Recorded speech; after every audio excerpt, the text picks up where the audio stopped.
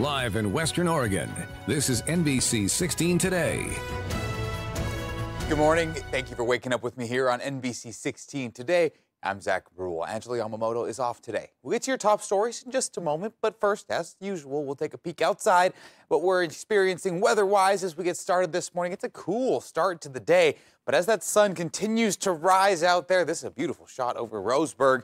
We're going to continue to see a warming trend take hold. That's because cloud coverage, those rain opportunities that we've been seeing for the past five or six days are you know, kind of a thing of the past. Yesterday was the last little bit of it, kind of the last dump of very minimal moisture uh, throughout the region yesterday. And then with the clouds dissipating, the cool opportunity or the cool air was able to creep back in overnight and into the morning. So a rather chilly start to the day. But as we head forward today, you're going to see very minimal opportunities for rain or cloud coverage, which means as we go forward, you're going to see that warming trend we've been kind of talking about being on the horizon begin to really take hold over the next couple of days. I mean, first, we got to clear out of this, being that they cooled down so much overnight. We're with the wind chill right now looking at anywhere between the high 20s to the low 40s as we wake up this morning. But as you head forward, we're going to get much, much warmer. It should be a clear, sunny day throughout the day and get us up towards the mid 60s before the afternoon and evening hours roll around. And that warming trend will continue as we head forward. Chief Meteorologist John Mayer is going to join us in a few minutes.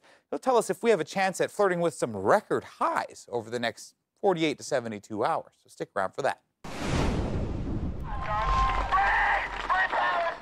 Yesterday, hundreds of students, students rather, rallying as a pro-Palestinian encampment is at risk of being removed by the university.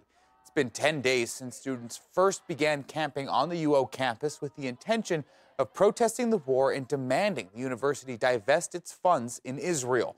Now, the university president released a statement saying the university has a long history of using an engagement first approach and says they have done so with this encampment, with daily meetings expressing concern for safety and to inform students that they're in violation of school policies.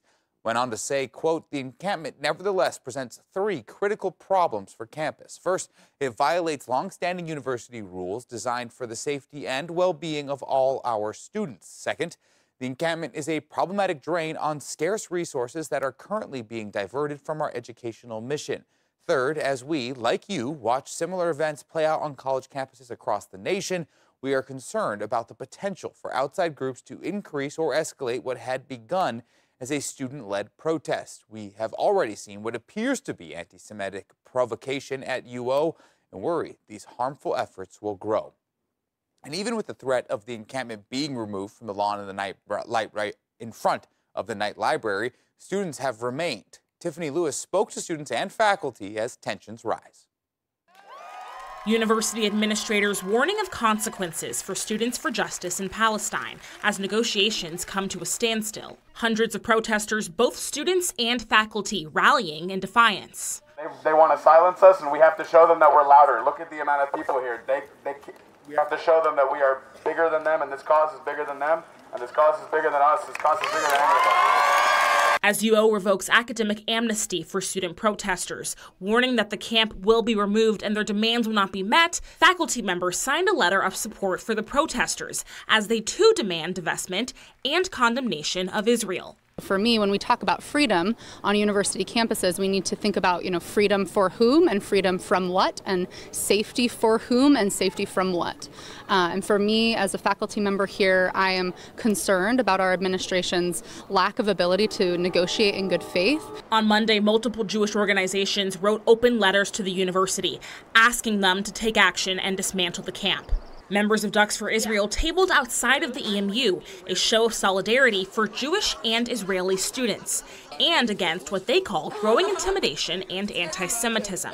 Anti Semitism and anti Zionism are not always the same thing. A lot of times they end up becoming the same thing. Um, we had a hostage event a few weeks ago, and I was told people were just um, anti-Zionist, but I was specifically told that my religion is death and I'm a blood-sucking genocidal freak. Several Jewish students are active leaders of the encampment, including members of Jewish Voice for Peace. I did ask for an interview with those students, but they were not available. In the face of the university's refusal to meet the camp's demands, protesters say they are not giving up.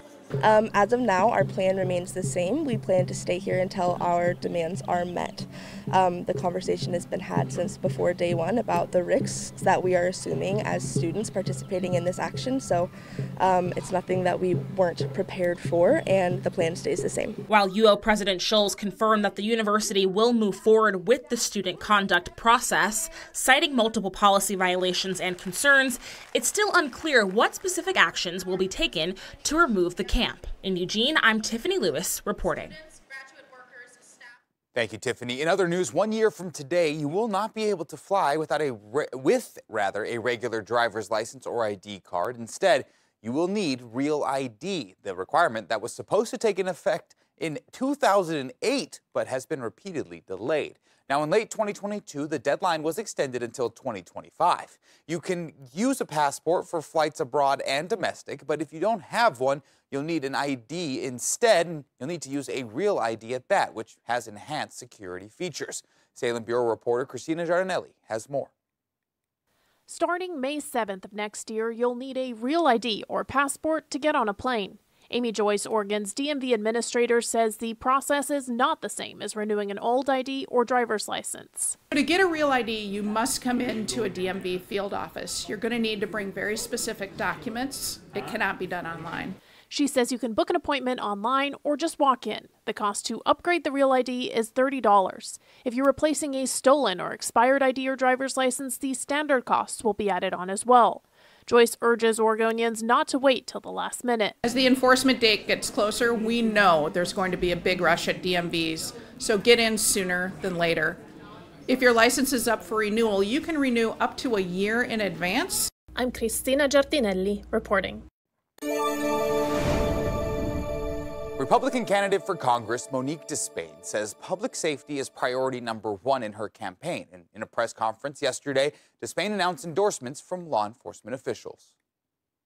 That Monique DeSpain is the kind of fighter for public safety, law enforcement, and crime victims that we need in Washington, D.C. With Monique serving the 4th District in Congress, we can turn the tide and restore the rule of law bring back safe neighborhoods, and once again see crime victims protected as they deserve to be.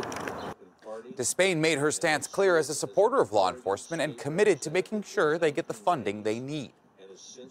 I will sign on to the bipartisan legislation H.R. 3321, the Defund Cities That Defund Police Act, a bill that prevents taxpayer dollars from funding cities that have defunded law enforcement. DeSpain also said if elected, she will prioritize national security and border policy. We need secure uh, borders on our, uh, for our country to keep our communities safe. We're seeing the result of an open border right here in our communities in the 4th District. DeSpain has also received letters of support from Coos County Sheriff Gabe Fabrizio, Curry County Sheriff John Ward, and Linn County Sheriff Michelle Duncan. The election is coming up. It's on May 21st, which means you have just under two weeks to turn in your ballot for Oregon's primary election. Ballots were sent out last week. Now, anyone who doesn't have theirs by tomorrow should contact their county elections office for a new one. Ballots can be returned to any official drop site location. You can also mail them as long as they're postmarked on or before Election Day, which again is Tuesday, May 21st.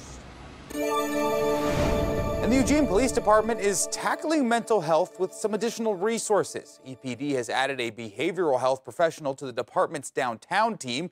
The addition is meant to improve response for low to moderate risk calls by bringing a licensed mental health professional in plain clothes to help calm situations and reduce the number of arrests. The program is meant to complement Cahoots. It's part of the city's co-responder program, which is mostly funded by the city's community safety payroll tax. Now, drivers, get ready to start your engines. Racing season is revving up soon in Douglas County with the dirt track in Roseburg set to open after a variety of new upgrades. Now, our Rico Aguilera went to the track to see what makes this place the place to go. Just this was something that I wanted to do. You know, I wanted to bring better racing to the community. Over $100,000 worth of projects have been underway to improve the dirt track. The last major project was asphalt resurfacing in 2002. Since then, there have been few upgrades of this magnitude. This structure is this year, I believe, 50 years old and hasn't had a lot of repairs and upgrades to it. So we're trying to bring that to it. So not only when we're holding our events, but like they had the rodeo during the fair and stuff, there's going to be some large improvements there that directly go back to the community. In 2022, the Douglas County Fairgrounds began a new contract with the Roseburg Race Promotions to help operate the dirt track. Meanwhile, the track has been applying for grants and teaming up with local businesses to get these upgrades completed. Some of the work that's been done includes the refitting of the bleacher seats and converting a full length dirt surface for racing. There'll be a lot of people in the area, and dirt track racing's very popular around here, and a lot of people like to watch it. So the grandstands capacity, I mean, a lot of people have been showing up, and it's just been building and building last year, and obviously this is year number two, and we're looking forward to another exciting year to just keep building. The Douglas County Dirt Track is set to have their first race of the season May 10th. Reporting in Roseburg, I'm Rigo Aguilera. Mother's Day is fast approaching. It is this Sunday, and NBC 16 is hosting a giveaway contest all for mom. We want to hear from you why your mom deserves to win an amazing prize package worth over $1,000. Our panel of NBC 16 judges will select two lucky moms who will each receive the following prizes $100 gift cards to Bello Day Spa, Gray's Garden Center, and Unrefined Wellness Bar, a $100 Visa gift card, and facial treatment from Dr. Lee Daniel. $100 gift cards to Checkerberry's Flowers and Gifts in Coos Bay, as well as Shark Bites in Coos Bay.